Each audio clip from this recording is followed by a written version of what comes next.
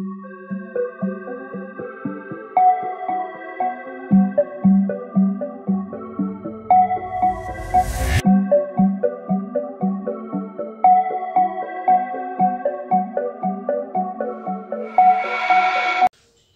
दर्शकों, मैं सुशील प्रजापति, आप सभी का स्वागत करता हूँ आपके अपने YouTube चैनल पर। सब कुछ चित्र अल्टीमेट तो दर्शकों, ग्रहों की श्रृंखला को आगे बढ़ाते हुए आज हम चर्चा करने वाले हैं कि ऐसा कौन सा सरल प्रयोग है जिससे हम राहु ग्रह की शांति कर सकते हैं। दर्शकों, शास्त्रों के अनुसार राहु को भी देव का दर्जा मिला हुआ है, देव की संज्ञा मिली हुई है। तो दर्शकों, यदि आपकी कुंडली के अनुसार राहु ग्रह आपको अशुभ फल दे रहे हैं, प्रदान कर रहे हैं तो आप इस सरल उपाय को अपनाकर राहु की अशुभता को कम कर सकते हैं और शुभ फलों में वृद्धि कर सकते हैं। तो दर्शकों, जैसा कि मैंने आपको पहले वीडियोस में भी बताया है कि हम सरल और सटीक उपाय लेकर आते हैं और आपको बताते हैं ताकि आपका जो व्यय है, जो खर्चा है, वह कम से कम हो सके और आपको लाभ ज़्यादा से ज़्यादा मिल सके। दर्शकों, प्रकृति में जितनी भी वस्तुएँ हैं, उन पर ग्रहों के प्रभाव होते हैं। जिस प्रकार गुड़ भगवान सूर्य को समर्पित होता है, काले तिल शनि को समर्पित होते हैं। दर्शकों, ठीक उसी प्रकार जो मूली होती हैं, वह राहु को समर्पित होती हैं। यदि आपकी कुंडली में राहु ग्रह अशुभ हैं, आपको अशुभ फल दे रहे हैं तो आप मूलियों का प्रयोग करके राहु की अशुभता को कम कर सकते हैं। तो दर्शकों, आइए जानते हैं वह कौन सा प्रयोग है और आप किस प्रकार राहु की अशुभता दूर कर सकते हैं।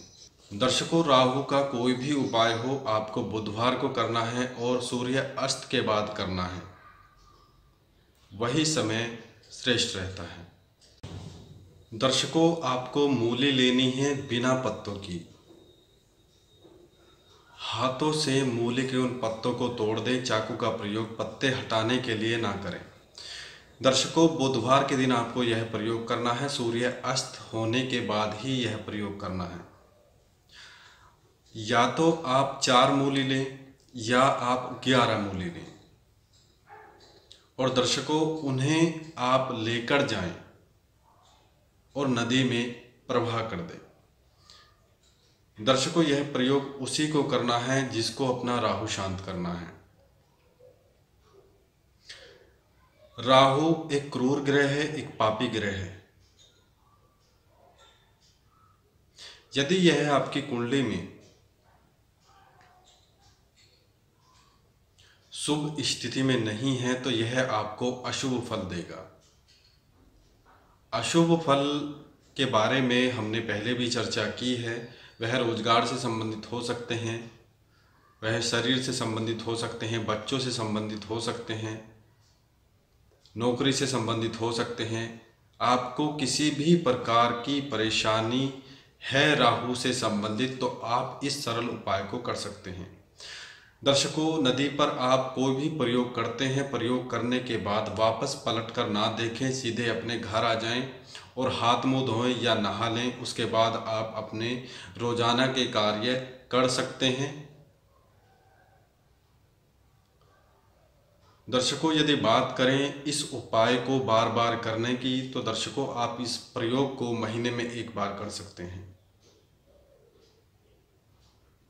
जैसा कि हमने पहले भी चर्चा की है कि आपको ग्रह शांति के लिए प्रयोग बार बार करने होते हैं, उपाय बार बार करने होते हैं। आप एक प्रयोग को एक महीने में एक बार कर सकते हैं, तीन महीने में एक बार कर सकते हैं। उससे ज़्यादा समय अगर आप प्रयोग में या उपाय में लगाएँगे तो ग्रहों की जो अशुभता है, वह दोबारा से लौट आएगी और आपको अशुभ फलों की प्राप्ति होनी शुरू हो जाएगी। तो दर्शकों, आशा करता हूँ आपको यह जानकारी पसंद आई होगी। आप ऐसी ही ज्ञानवर्धक और विचित्र वीडियोस के लिए सब कुछ विचित्र अल्टीमेट चैनल को सब्सक्राइब भी कर सकते हैं। दर्शकों, यदि आपके मन में कोई शंका है, प्रयोग को लेके, उपाय को लेके तो आप हमें निसंकोच कमेंट बॉक्स में लिख सकते हैं। आपको जानकारी ज़रूर दी जाएगी। तो दर्शकों अंत में विदा लेते हैं। ओम दुर्गा नमः।